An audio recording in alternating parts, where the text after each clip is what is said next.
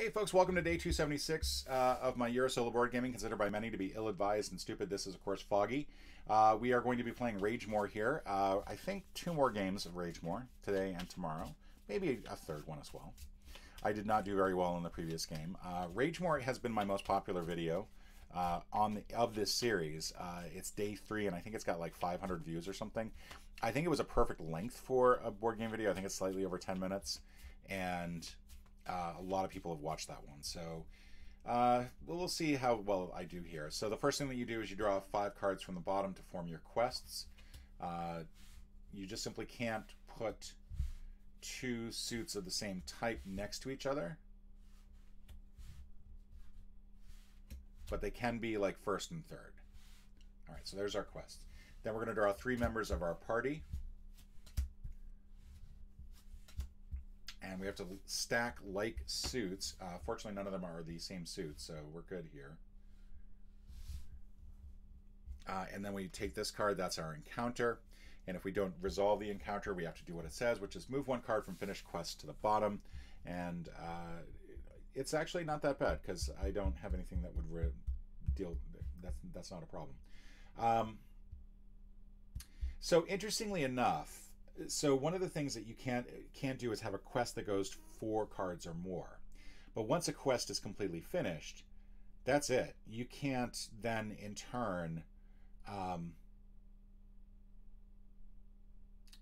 you can't then in turn refill it up. So if I, I I could use this to grab these two cards.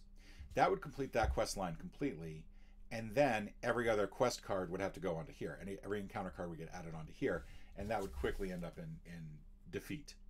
Uh, I can, I think, encounter. I could try recruiting, but there's very little for me to recruit. I could recruit this here. I could also just pass. We're going to pass. I think we're going to pass. I'm going to pass this. It's going to go up here. I'm gonna go to the next card. There's no cards that are in the finished quest, so I don't have to worry about that. Um, that's not a that's not a thing that I have to worry about.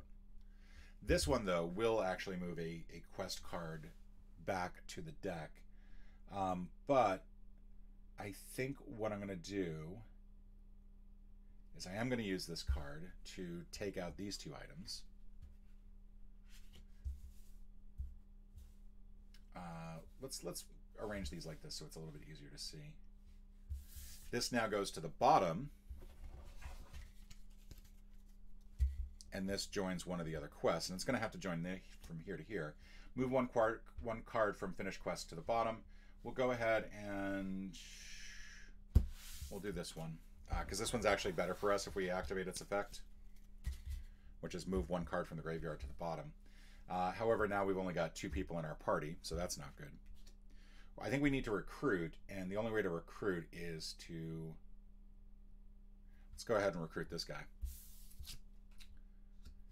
Uh, recruit anyone matching skills.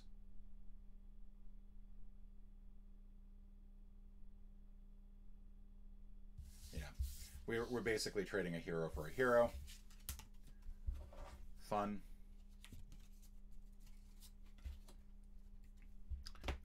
Next up, uh, we've got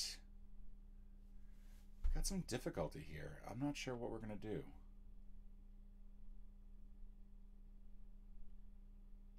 So I could try recruiting, except this guy's got a skull on it, so I can't recruit him.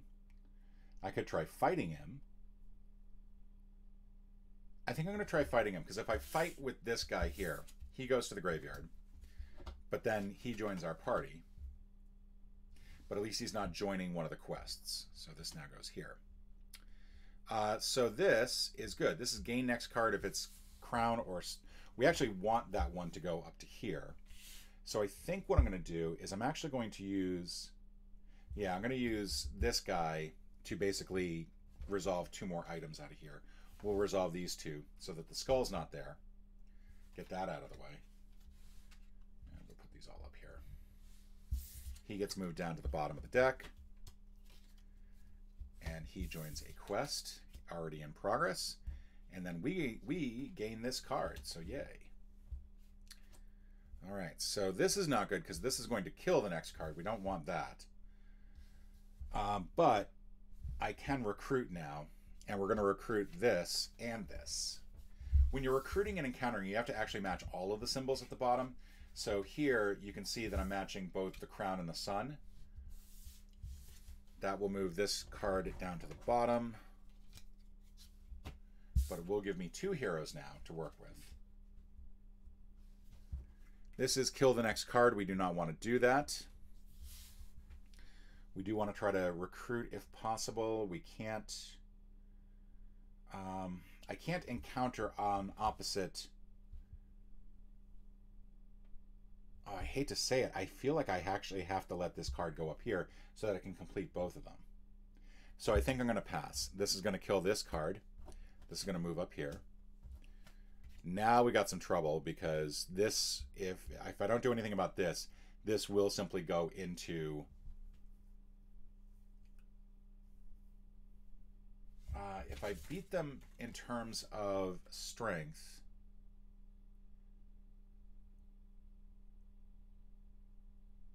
All right, so this is one where I'm going to do these two cards together because I got the two plus two here. That gives me four. That means I can recruit this card into my party. Uh, and, oh, crud. I was supposed to have this on top of this, but that's okay.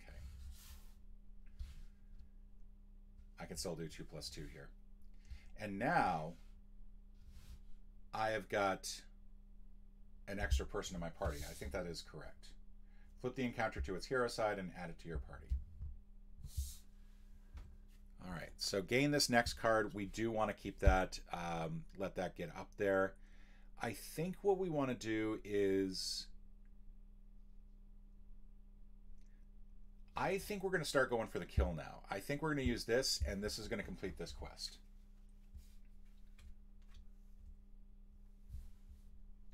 Which might not be a strategically good move, because now um, we could run into some real problems. But this is going to join this, and we gain the next card because it's a cross. This will go here as a new thing. Move one cards from finished quest to the bottom, so we do not want to leave that out. But because of our 2 plus 2 here, we can actually recruit it, or we can fight it, and that will move it along. I think that's what we want to do. What we really want to do is we want to get these two cards. Once we get these two cards, we're done. Um, but we can't let any more cards get in there. So I can do one of two things. I can either use this to fight this. Yeah, that's what we're doing. Uh, we're doing we're using this to fight this or encounter this. We encounter this, we move it to the quest. This goes to the bottom of the deck. Move one card from the finished quest to the bottom. This will join here. We move this card, the cross, because we don't really need that.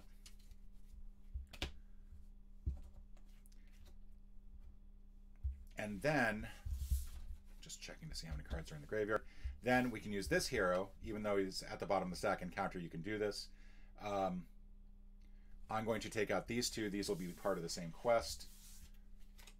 That'll give me one card there, one card there, and you immediately win if you do that. So I don't have to worry about the encounter. We have done it. We have won the game. Hurrah! I I didn't rage more. I raged most. Okay. Thank you. That was a really stupid joke. Um, but that is a successful victory in Ragemore. Uh, so yay. Uh, and I will see you all tomorrow, and uh, maybe the game will be Ragemore, maybe it won't. Who knows? Who knows what tomorrow will tell?